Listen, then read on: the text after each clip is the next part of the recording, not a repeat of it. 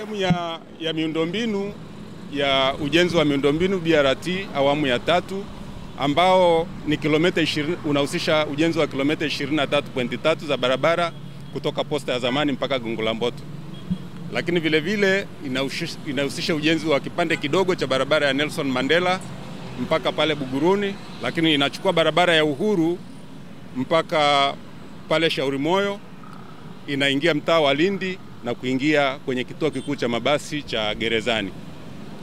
Mheshimiwa Mkuu wa Mkoa, ujenzi wa miundombinu BRT awamu ya tatu unahusisha una, uko kwenye, kwenye, kwenye itakuwa na kandarasi mbili.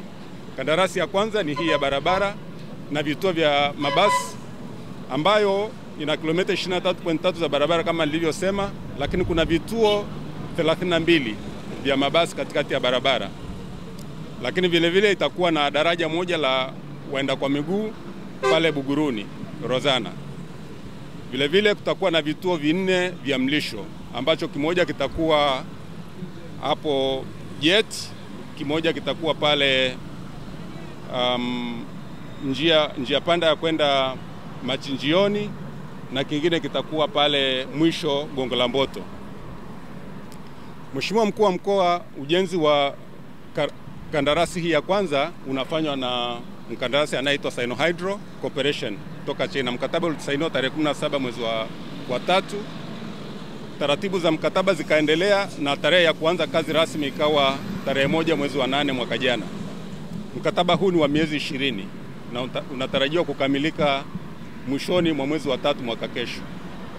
Mheshimiwa Mkuu wa Mkoa, kazi ambazo zimeshaanza kwa sasa ni ujenzi wa barabara kwenye sehemu hii na, kuele, na kutoka hapo daraja la Mfugale kuelekea mjini. Tunao, tunazo, tunavyo vituo vinne vya, ma, vya mabasi ambazo mkandarasi ameshaanza kuvijenga na anaendelea navyo.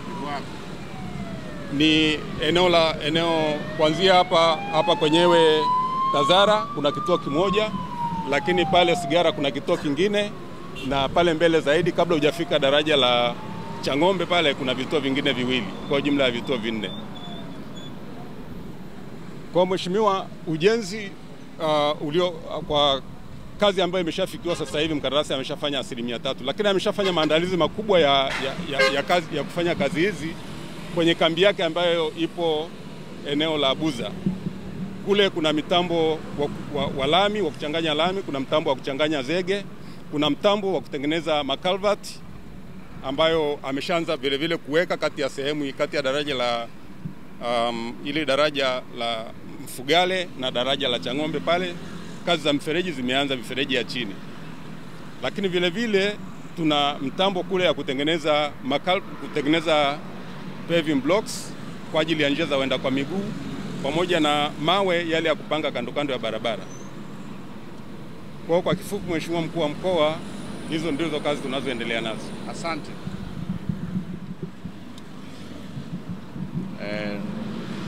Msimamizi wa mradi huu kutoka TANROADS mkuu wetu wa wilaya ya Temeke ambaye anamwakilisha mkuu wa wilaya Ilala. Niseme tu kwamba nimekuja kukagua kuona kazi ya ujenzi inayoendelea ya mradi wa BRT awamu ya tatu. Awamu ya kwanza imekamilika ya kutoka mjini kwenda Kimara, lakini pia na matoleo yake ya Moroko. Lakini awamu ya pili inayotoka Mbagala kuja mjini tumeona, na wiki mbili zilizopita nimetoka kukagua. Awamu ya tatu ni hii ya kutoka mjini kuelekea Gongo la Mboto. Zipo awamu sita. Awamu ya nne iko katika manunuzi, lakini kikubwa nimekuja kukagua kuona mradi unavyotekelezwa, kuona kazi zinazofanyika, kwa sababu mpango wa BRT kwa mkoa wa Dar es Salaam ni kujenga kilomita 150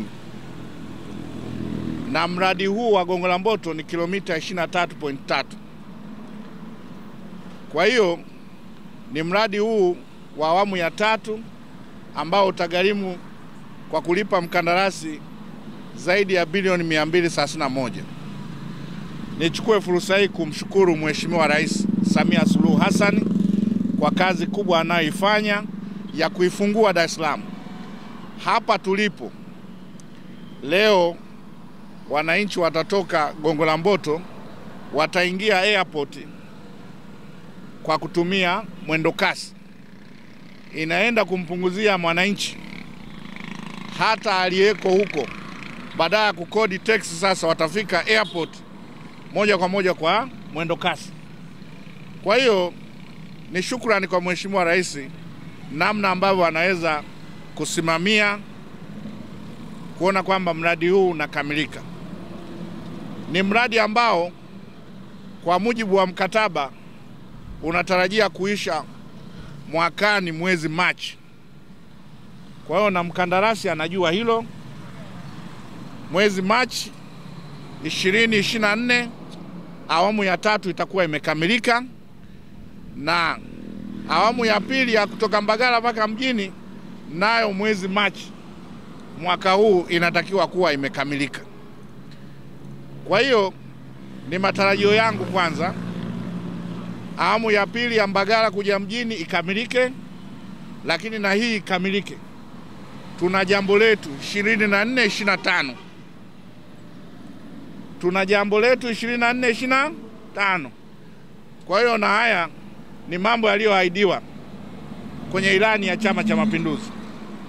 Kwa hiyo ni, ni matarajio yangu nyie mnaomsimamia mkandarasi mtahakikisha kwamba kazi hii inakamilika, vyote vilivyoelezwa, kuwepo na vituo 32, kuwepo na karakana, kuwepo na kituo kikubwa kimoja, kuwepo na vituo vidogo vinne, yote ilivyoelezwa, iona kwamba yanatekelezwa. Nimefurahi kwamba kazi zinafanyika, kazi zinafanyika na kwa muda mdogo. Mimi nilikuwa nimeotesha maua humu pendezesha Dar es Salaam, sasa hamna tena, mnajenga mwendo kasi. Kwa hiyo nimeona kazi inavyofanyika na tumuombe mkandarasi aongeze kasi. La pili, mfanye uamuzi wa wapi kuwa karakana, kufanyike maamuzi ya haraka kujua wapi kutajengwa karakana ya mwendokasi upande huu, kwa sababu tayari eneo ambalo lilikuwa ndo kiwanda cha Sungura kunatakiwa kuja kujengwa kiwanda cha vioo. Mwekezaji ana mkataba na jiji, World Bank wako tayari kutoa hela. Ajira zitakazopatikana pale ni zaidi ya watu elfu sita. Alafu eneo hilo ndio mnalisemea liwe karakana. Ni namna gani tunaweza tukafanya maamuzi? Lazima tufikirie kiuchumi zaidi kwamba unaenda kupoteza mapato ya serikali kwa ajili ya kupaki, unaenda kupoteza ajira za watu kwa ajili ya kupaki, unaenda kupoteza eh, mzunguko wa pesa, yaani kati ya parking na kiwanda. Katika akili ya kawaida tunaamuaje? Kwa hiyo nawaachia mfanye maamuzi hayo, na dat ni, wa, ni waombe. Wasiendelee kupiga danadana jambo hili. Kujenga kituo au kujenga karakana, unaweza hata kufidia watu eneo fulani, mkatafuta mka eneo mkafidia kuliko kupoteza kiwanda eh. Kwa hiyo lazima tufikiri ki, kwa upana zaidi, kiuchumi zaidi, sio kwa sababu uliona kwamba eh, SGR waliweka pale vifusi, kwa hiyo ni kama eneo la wazi. Ni eneo la kiwanda na mwekezaji yupo na World Bank wako tayari kutoa hela kwa ajili ya kiwanda hicho. Tutaonekana watu wa ajabu kama tutafanya maamuzi kwamba pale basi pawe karakana, unaenda kutengenezea mabasi, unaenda kupaki, umepoteza ajira za watu elfu sita. na nikitoka hapa nataka tukaone ni eneo la wazi au ni, au ni kiwanda kilichokuwa kiwanda, na mkinikubalia tunaenda. Mkinikubalia kilikuwa kiwanda, kwa sababu najua na mimi nimeshafanya na kamati ya ulinzi na usalama tulishafanya maamuzi pale pawe kiwanda, na DRT mtafute eneo lingine la kujenga karakana. Tunaweza tukafidia watu kuliko kuua kiwanda, tukaua ajira, tukaua mapato ya kodi na mzunguko mzima wa pesa na uwekezaji. Kwa hiyo hilo ningependa lifanyiwe maamuzi haraka.